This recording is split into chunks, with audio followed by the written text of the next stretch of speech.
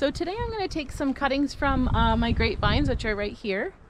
Um, I did this last year and had a pretty good uh, success rate. They were about 80 to 85% and it was my first time um, doing that. And they grew quite well. So um, the reason why you'd probably want to do this is if you have just a couple grapevines and you're looking to add more, there's no need to go out and buy multiple grapevines. You can actually take cuttings, if you like the variety that you have, take cuttings from that and just uh, continue planting them in your own backyard. So what I do is I take cuttings. Uh, right now is a really good time. They're still dormant. So you want to make sure that they are dormant, that they haven't budded out. The winter is the best time. I do mine early spring. That's what I did last year. That's what I'm going to do again this year. They haven't budded out yet. It's still quite cold. And I'm just going to take the cuttings and then I'm going to make sure that I group them together, label them so I know which varieties that they are and then I'm going to put them in my freezer or the fridge, whatever you choose, and keep them there until it's nice enough, at least what I did, till it's nice enough that I could put the pots outside. And I let them grow in the summer and they did quite well. They leafed out and they weren't very big, but it takes about two to three years to establish a good grapevine. And um, when you're doing cuttings, that's about the time that it needs to, to take. So I just put them in pots and then I'm still probably am gonna have my pots. I just had my last year pots in the greenhouse. I wanted to see if they'd survive in the pot instead of planting them in the ground, just as an, ex an experiment. So we'll be checking that out later in the year to see if they survived in the pot in the greenhouse. But um, eventually I'd like to put out some a few more grapevines in my own garden. So if you do choose to propagate, I don't know if there's any restrictions on the grapevine varieties that you have if you're allowed to propagate you need to kind of look into that that's something you know if you want to take on do some research because there's some varieties that are not um, you're not allowed to take cuttings of and propagate. So, and that goes for a lot of different things. It goes for even rose bushes, trees, and things like that, even raspberries. So, just do your research, your due diligence, and look at see what you're allowed to do and what you're not allowed to do. Um, especially um, if you're going to sell them. But these are just for you know my own backyard and um, just to grow the number of vines that I have. And it's neat to know that you don't have to go out and buy in big bulk numbers and spend a lot of money. You need to have one or two good established grapevines and take cuttings from that. The other thing is, is you want to take um, hard wood cuttings. At least that's what I did. So you're not going to, like I'm not going to cut last year's growth on my grapevines. I might cut the previous year's growth just to make sure it's well established. Um, well, let's get started.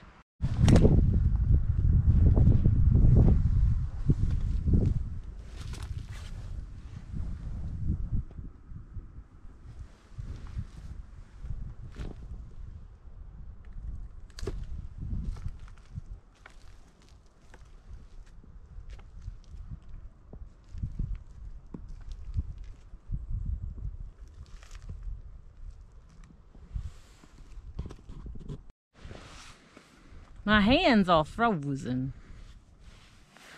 Ah! You know it's cold enough when, eh? Where's the other glove?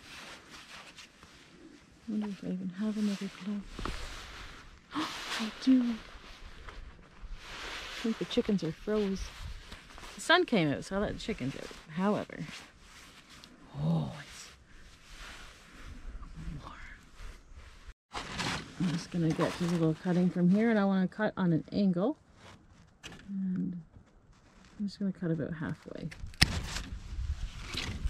Yeah, and it's, I don't know if you can see that or not, but it's green, which means it's still alive. So this should um, take root. And uh, I'm just going to collect a, um, a few from this one vine. I'm going to take some for now. I'm going to take bit of this one.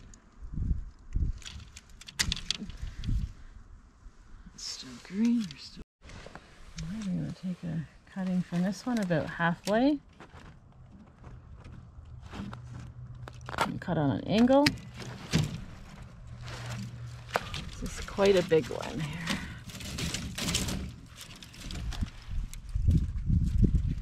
And so what you'll want to do, or what I want to do, is the reason why I go a little bit under um, the bud here is this part here is going to be all in the ground. I'll probably put all this in the ground. That bud is where you're going to start forming your, it's going to start forming its root from. I could probably get two to three cuttings from just that one piece. Okay, so basically now I'm just going to bundle these up. I'll put a ribbon or something on here with its name, the label of the variety of grape this is. And then I'm going to put them in the freezer and I'm going to keep them there until the weather warms up. Technically, I could probably bring them in my house and pot them up right now and just give them plenty of water and they'll grow and they'll be bigger than if I just started them outside. But I don't got a lot of room in the house since I'm doing my seeds and we're having chicks soon. So um, I'm going to wait and I'm going to plant these the same as I did last year once the weather gets warm enough. And that's, that's how easy it is. So the trick is here is to always keep um, the right end down because if I'm going to do this and I'm going to cut it to length for multiple uh, cuttings, you can get confused which one's the top and which one's the bottom because one will root and one won't. So I got one, two, three. I'm going to take a cutting here. Should be about long enough. And then I'm going to go there and I think I'm going to try this one. It's a bit thin, but I'm going to try anyway. There's one, two, three. Cut there. We're going to just going to discard that one. And I've got another one here. So make sure you keep those ends the right way. And I've got a larger one here. One, two, three, and I'm to go halfway. Again, one, two, three. Out there. You don't need much to start a little grape plant or vine. One, two, three. I'll discard the top of that. And that's the importance of trying to keep the right ends right. Now, I'm gonna, maybe this will cut this, I don't know. This is all I kind of have right now. I'll do something a little better next year. It's very cold, so my hands are freezing right now. As red as your uh, mitts. I know.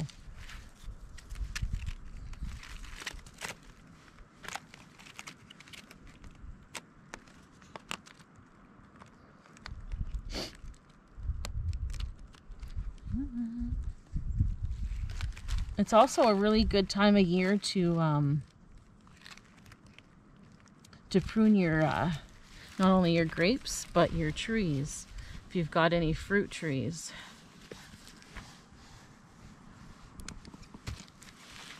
Before everything buds out. Just want to make this a little bit tighter. Again, doesn't need to be pretty, just needs to work. Right, I'm just gonna put this on because I don't really have a label right now. Hopefully this will work. Time will tell. If not, I might have endless supply of random grapes. All right, so that's one bundle down and I've got one, two, three, I probably have about five or six more different varieties of grapes that I might go and see if they need to be trimmed up. And um, we'll see you in the summer when it's time to plant these.